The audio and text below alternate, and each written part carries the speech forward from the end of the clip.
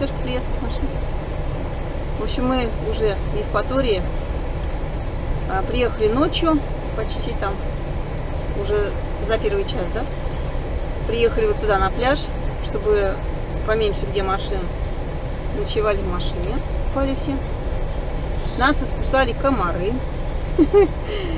Так неожиданно. Обычно тут комаров нет, но столько комарья.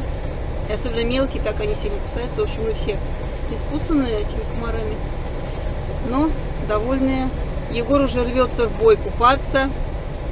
Пищит там, что его не пускают. Привет, помаши ручкой. Чуть-чуть. Так. Миш, помаши. Сейчас выйду пляж сниму. Вот еще утро. Что-то около 8 утра. Пока так человека три.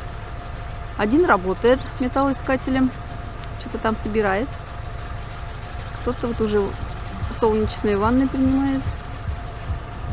Очень тепло по сравнению с тем, что было у нас дома.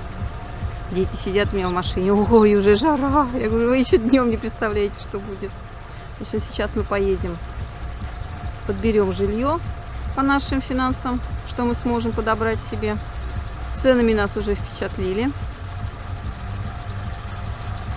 То, что можно у нас снять за месяц, здесь мы будем платить за сутки. Такие цены будут на жилье. В общем, такая красота на пляже.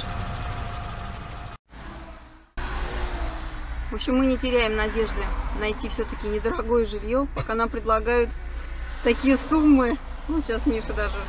Ну, возмущают, конечно, такие суммы. Мы смотрели вот жилье. Извините, даже бесплатно в такое идти неохота. Ну, клоповник самый натуральный, грязный, не убрано как-то вообще неприятно. И хотят кругленькую сумму денег за такое жилье.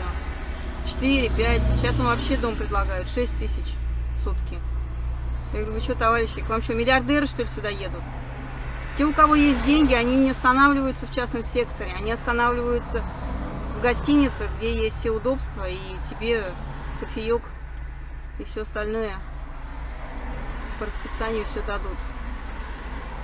Нам нужно жилье там, где мы сможем сами приготовить, потому что по столовым нам тоже дорого кушать. Постираться, помыться. Ну, в общем, обычное жилье, но чистое. В общем, мы пока ищем.